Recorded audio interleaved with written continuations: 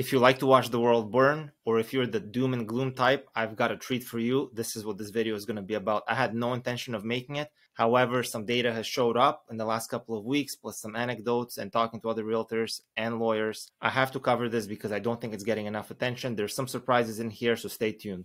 Hi, my name is Vas, and I'm a chartered professional accountant by training. I'm a full time realtor that's built and invested in real estate right here in Toronto, York region, and in secondary markets. Now, let's get into the video.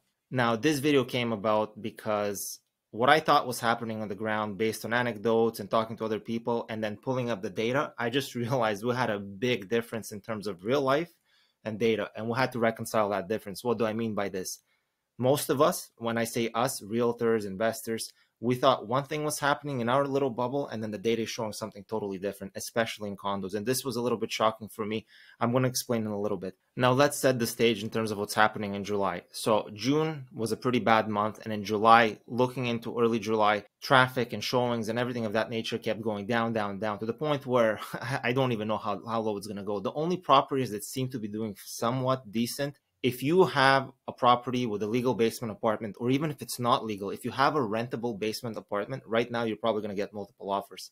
Aside from that, good luck. Now, let's set the stage and give you what you came for all the negative stuff. So, the consumer confidence index, um, it's at an all time low. Actually, it's so low, it's as low as when COVID just started. So, when everybody was scared and we thought, well, we're done, that is where we're at right now. Number two, inflation. There's no end to it right now. We know that the US is in a technical recession right now, pending some numbers, but from what we know, it's two quarters now that they're negative GDP growth. Canada is lagging by a quarter, so we had a positive growth quarter, I think, in Q1. Q2 was negative, and then Q3 is most likely going to be negative. So we're going to be in a technical recession by fall. And then hopefully that puts an end to the rate hikes. We've also had a bunch of job losses in the tech sector and a bunch of other places.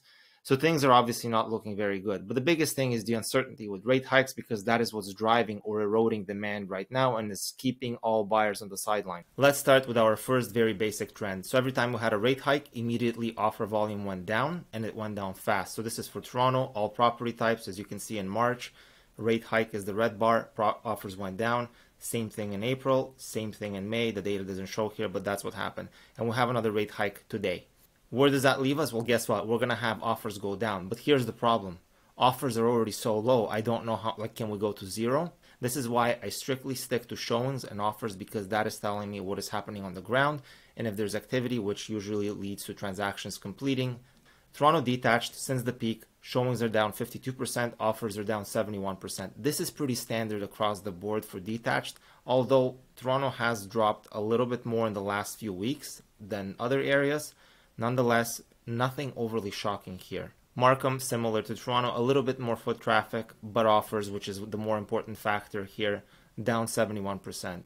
Even my darling Whitby, which I love talking about, is also down roughly 70%, again in line with Toronto and uh, Markham. Brampton is a surprise here. So Brampton is actually outperforming right now since the peak. They're actually holding up better than Toronto, Whitby, or Markham. So showings from from the peak are down so are offers, but not as much as everybody else. I don't know what to make of it because their prices are also going down and they're going down pretty quick. Just because they're getting more offers doesn't mean that they're actually doing better or their market's healthier. I think specific to Brampton, I think people just throw in low ball offers, seeing if it sticks. It's kind of like a Kijiji thing, like, oh, let me offer somebody a hundred bucks for something that's worth a thousand. Like it's not going to work. That's what I think's happening. I don't know, but from my understanding, talking to people that actually work in this in this area, this is what they're saying. And now here's the problem child: Toronto condos is actually very concerning. So 81% drop in offers since the peak. Condos never did that well during COVID to begin with. So they didn't rise in price much. They always lagged because everybody was leaving the city. And now with rents going up, I was under the impression that, you know what, that's going to put a floor on drops in prices for condos and we're going to have a pretty healthy condo market regardless of what's happening outside of the core or outside of Toronto. If we look at where we are, I mean, offers are so low on a day to day basis that we're nearing zero at this point. There's definitely the perfect storm brewing for condos to take a big beating right now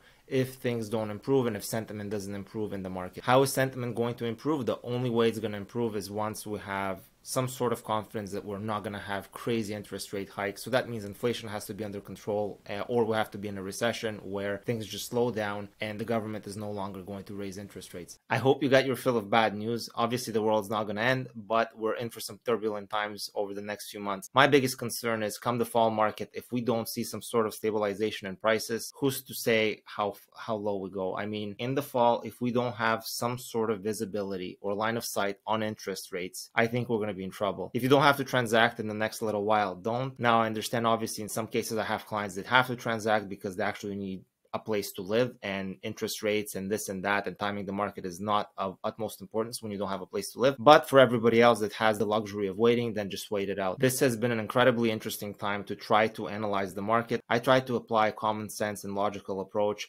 but it's just that every single time you do, something new, a new variable will come in and will completely destroy everything. But you know what? At least I'm not Bob from CMHC, and here's what I'm talking about. Hey, look who's back. It's our friend Bob from CMHC.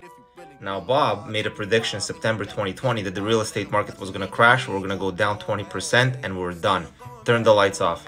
Now, you can tell here, Bob is pretty scared, and I'm going to admit, I was scared too. In the beginning of COVID, we had no idea what was going to happen, so his forecast actually fed into the narrative that real estate was done.